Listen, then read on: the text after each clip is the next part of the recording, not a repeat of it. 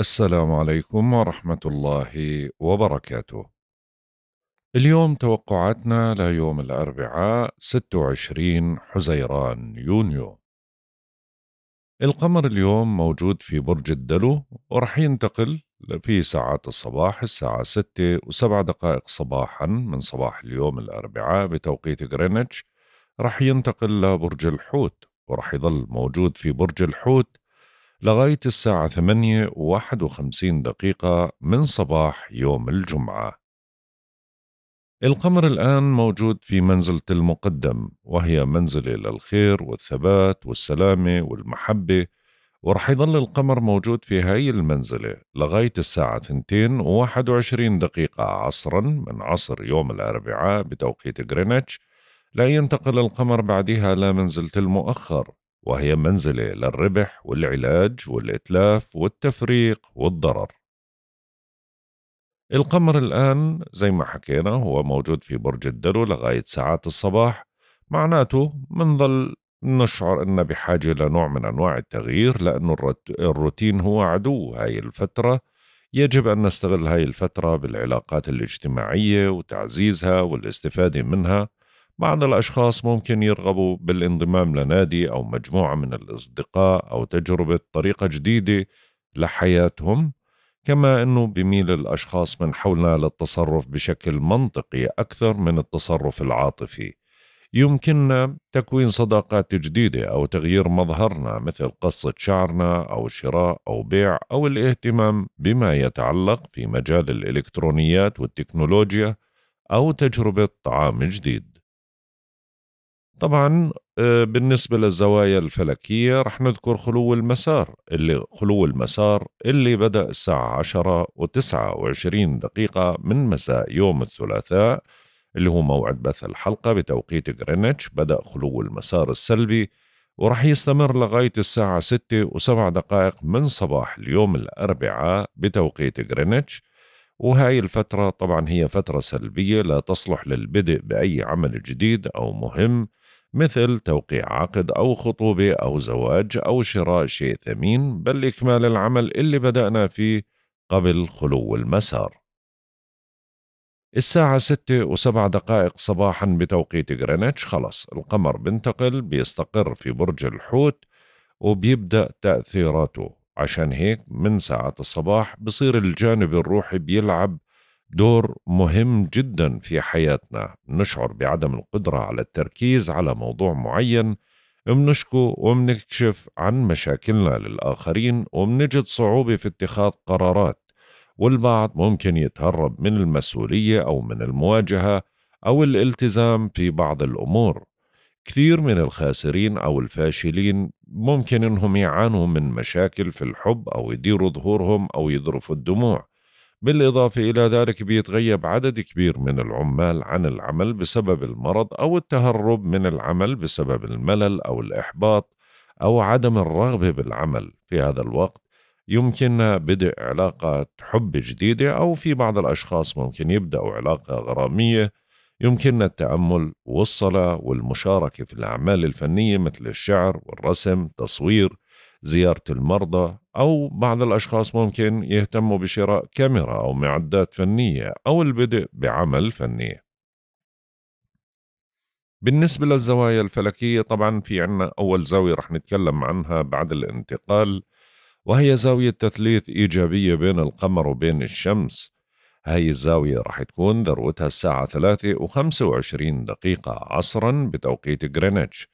منولي مزيد من الاهتمام لصحتنا نتلقى المساندة والدعم من الأصدقاء. منتجه لتغليب العقل ومنصبح أكثر قدرة على السيطرة على مشاعرنا.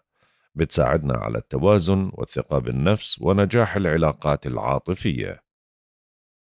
أما بالنسبة للزاوية التي تليها وهي زاوية تثليث إيجابية بين عطارد وبين زحل هاي الزاوية راح تكون الساعة 6 وتسعة دقائق مساء بتوقيت غرينتش. بتعزز قدرتنا على تحليل الأمور مناسبة للعمل الفكري وبرضه للمقاومة الجسدية. بنتصرف بحكمة منثابر في أعمالنا أو مشاريعنا وبصير هذا وقت مناسب لتنفيذ أعمال فكرية بتتطلب التركيز أو لإنجاز مضاربات عقارية.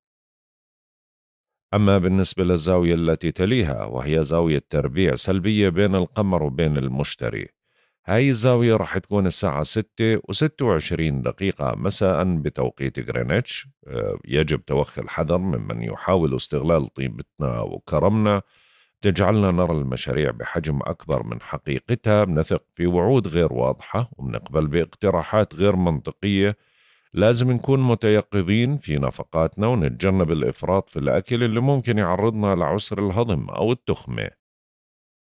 بالنسبة للأعضاء اللي في جسمنا الأكثر حساسية واللي لازم نوفر لها العناية الإضافية خلال هذا اليوم وما لازم نعمل عمليات جراحية لإلها إلا إذا كانت اضطرارية. طبعا من الآن وحتى ساعات الصباح عندنا بطة الساق الكاحل الساق وتر العرقوب عضلات الساعد وهرمونات الغدة الدرقية.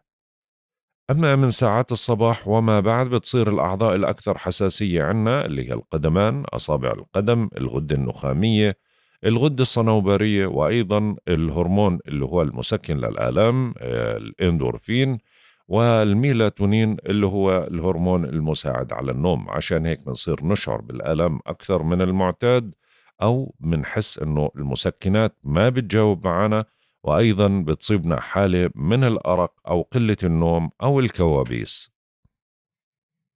باقي أعضاء الجسم طبعا ما في أي مشاكل لإجراء العمليات الجراحية ولكن مش بفترة خلو المسار.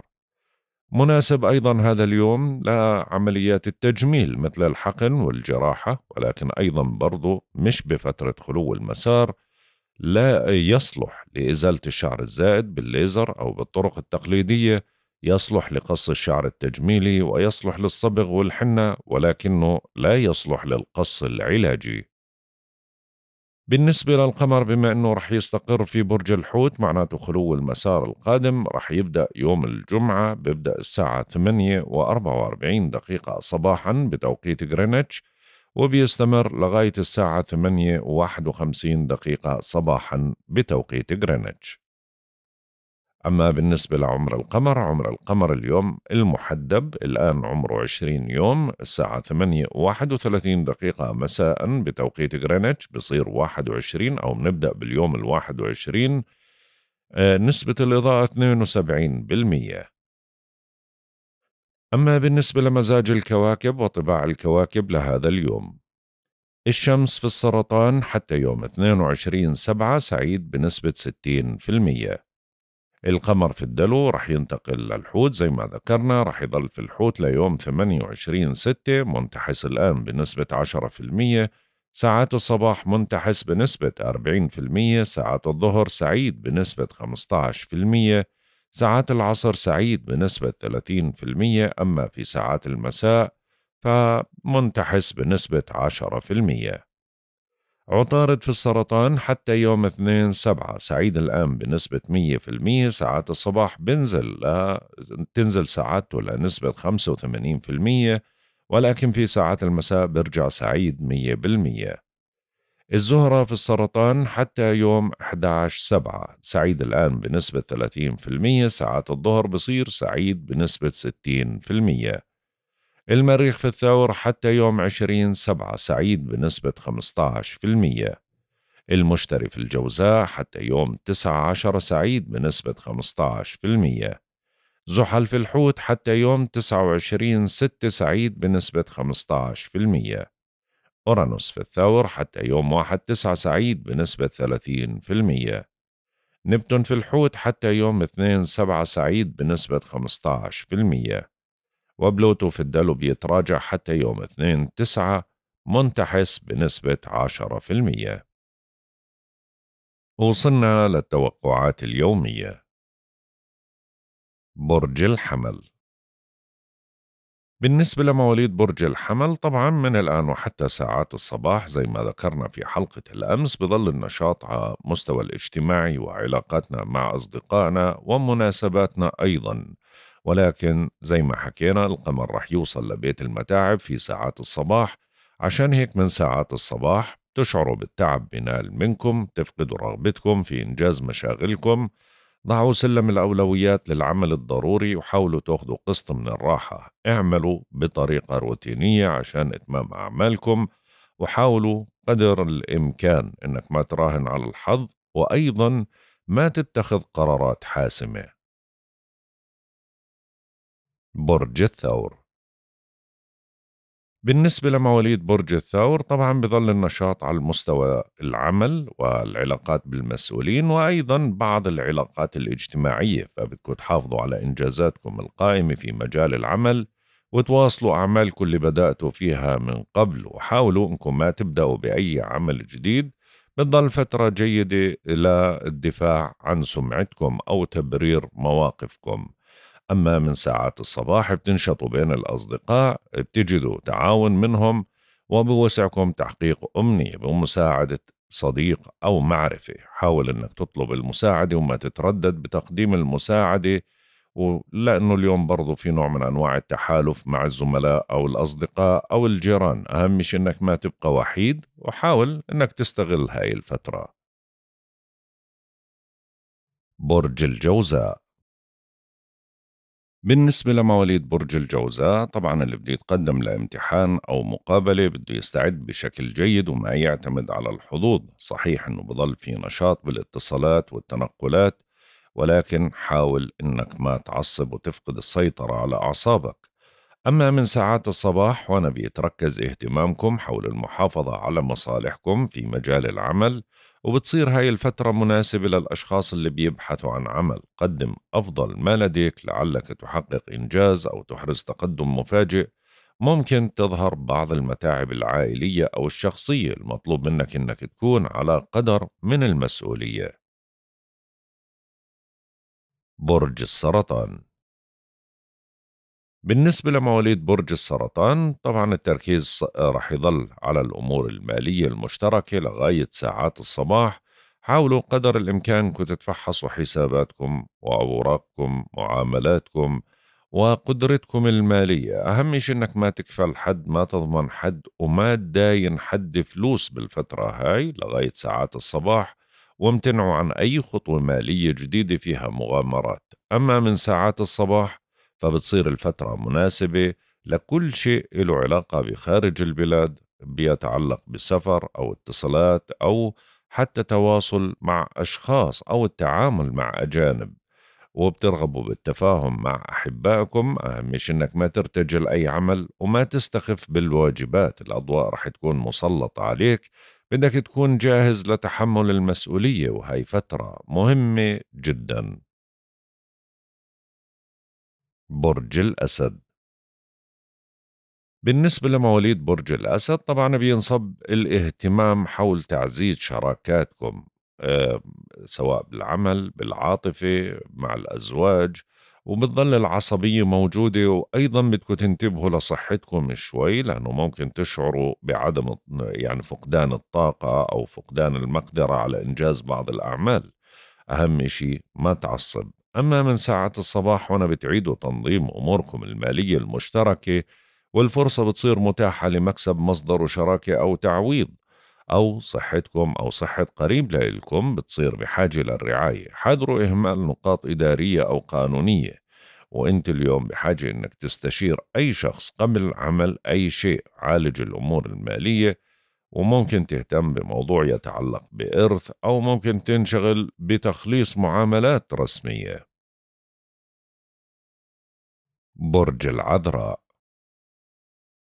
بالنسبة لمواليد برج العذراء طبعا بدكم تواصلوا أعمالكم اللي بدأتوا فيها من قبل ما تبادروا لعمل جديد انتبه لصحتك وأيضا انتبه أثناء تعاملك مع زملائك بالعمل من العصبية أو سوء تفاهم هذا أهم شيء. أما من ساعات الصباح فهنا القمر بصير مقابلك تماما تتركز جهودكم نحو تدعيم شراكاتكم.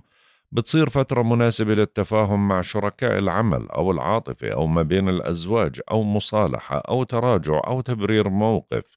هاي فترة شوي فيها نوع من أنواع الصعوبة فممكن تعرضك لمواجهة قانونية أو عاطفية. بسبب التسرع أو العصبية أو يعني انكشاف أمر ما. بحذرك من عدوانية الجو والنفور والخلاف والتوتر بهاي الفترة. برج الميزان بالنسبة لمواليد برج الميزان طبعا بتظل العاطفة قوية عندكم وبيميلوا آه، الأحباء للتقرب منكم وأيضا بتميلوا أنتم للتقرب من أحبائكم والتجاوب معهم. وبظل في نوع من أنواع الحظ والاهتمام بالذات وأيضا الحيوية العالية جدا. أما من ساعات الصباح فهنا آه، بصير العمل هو اللي له الأولويات. بيبدأ العمل بالتراكم لديكم حاولوا إنجاز ما بوسعكم من عمل دون إهمال صحتكم. بتصير فترة مناسبة لممارسة نشاط بدني ممكن تشتكي من الإرهاق بسبب كثرة الضغوط. أهم شيء أنك ما تأجل عملك وما تضيع الوقت في أعمال غير مفيدة ومش مناسبة لإلك. وأيضا لا تنسى تراعي ظروفك الصحية وأطلب مساعدة الزملاء إذا دعت الحاجة. برج العقرب بالنسبة لمواليد برج العقرب طبعا بدكم تتجنبوا إدخال أي تغيير جذري على مسكنكم. ممكن تهتم بشؤون عائلية مصالحة مناسبة إيه، بعض الأعطال ولكن ما تتخذ قرارات حاسمة لغاية ساعات الصباح. أما من ساعات الصباح فهنا بتبدأوا يعني فترة بصورة عامة فترة إيجابية بتبعث على البهجة والانشراح. بوسعكم ممارسة نشاط فني الاهتمام بالذات برضو ممكن تمارس هواية التقرب من الأحبة من الأبناء. أهم شيء أنه تحاول أنه تستغل اليوم بكل طاقتك. آه، لا أنك أنت تنجز كل الأعمال المفيدة لإلك. حضر بشكل جيد لعملك وما ترتجل. ممكن تنطلق بمشاريع جديدة أو تتلقى إجابات أو إشارات مهمة. يعني فترة فيها حظوظ لإلك. برج القوس. بالنسبة لمواليد برج القوس طبعا اللي بده يتقدم لامتحان أو مقابلة من الآن وحتى ساعات الصباح بده يركز بشكل جيد. صحيح أنها فترة رح يضل فيها اتصالات تنقلات حوارات نقاشات ولكن لا تتسرع ولا تعتمد على الحظ وأيضا حاول تخلي كلامك واضح عشان اللي مقابلك ما يفهمك بشكل خاطئ. عندك قدرة على الإقناع ولكن بدون عصبية. أما من ساعات الصباح فهنا بوسعكم إدخال أي تعديل مطلوب على مسكنكم وتعزيز الروابط العائلية. لطف الأجواء تفادي للأزمات. ممكن تبدل رأيك حول أمر عائلي أو مستجد. برضه يعني فترة ممتازة لتكرار المحاولات. يعني إذا ما مشى معك الشيء من أول مرة كرر المحاولة ممكن يمشي معك وبترتفع نسبة الحظوظ بشكل كبير. برج الجدي. بالنسبة لمواليد برج الجدي طبعا بدكم تتجنبوا شراء أي حاجية ثمينة خلال هذا اليوم وبدكم تخففوا من النفقات. وتنتبهوا على أموالكم من السرقة أو الضياع أو المحتالين. أما من ساعات الصباح بتكثر عندكم الاتصالات والتنقلات وبتصير فترة مناسبة للقيام بنزهة قصيرة. وبإمكانكم تعزيز العلاقة مع أخ أو جار. هاي فترة مناسبة لتقديم الامتحانات والمشاركة في المؤتمرات والندوات. وممكن تنجحوا بطرح موضوع حساس أو تقدم على عمل مهم بيلفت الأنظار والإعجاب يعني فترة إيجابية حتى على المستوى العاطفي بتدعمك بشكل كبير لتعزيز العلاقة مع الأحبة. برج الدلو. بالنسبة لمواليد برج الدلو طبعا عندكم نشاط عالي جدا خلال هذا اليوم. أهم شيء إنه ما تبادروا لأي عمل جديد لغاية ساعات الصباح لأنه في خلو مسار واصلوا أعمالكم اللي بدأتوا فيها من قبل وركزوا بشكل جيد على تصرفاتكم. أما من ساعات الصباح فهنا ممكن تحصلوا على مبلغ من المال خلال هذا اليوم يدخل تحسين على ميزانيتكم. وبرضو منكم أشخاص ممكن يحصلوا على هدية أو جائزة وحاول أنك تبحث عن وسيلة أفضل لتحسين وضع مالي ما تستعيد الثقة بنفسك ولكن حاذر المبالغة بمصاريفك وعطاءاتك. وممكن تظهر بعض المصاريف الغير منطقية أو غير المتوقعة. وبرضه بدك تحذر من النصابين والمحتالين. برج الحوت بالنسبة لمواليد برج الحوت طبعا القمر ما زال موجود في بيت المتاعب لغاية ساعات الصباح فعشان هيك بيظل التعب مسيطر عليكم حتى ساعات الصباح. انتبه لحالك حاول ما تتخذ قرارات حاسمة وحاول إنك ما تفقد السيطرة على أعصابك وما تتخذ قرارات زي ما حكينا. أما من ساعات الصباح بتبدأوا فترة قوية جدا فترة إيجابية بتعيد لكم نشاطكم المفقود. وبوسعكم المبادرة بخطوة جديدة بتعود بالنفع عليكم. بإمكانكم تعزيز معنوياتكم من جديد وبتتحمسوا للمبادرة ولإدخال تعديلات على حياتكم. هاي بداية فترة حافلة بالنشاطات وبتنتظرك مفاجأة أو خبر سار أو استعداد لورشة جديدة. هيك بنكون انتهينا من توقعاتنا لهذا اليوم. والله أعلم. يا رضا الله ورضا الوالدين سبحانك اللهم وبحمدك أشهد أن لا إله إلا أنت أستغفرك وأتوب إليك. أترككم في رعاية الله وحفظه. إلى اللقاء.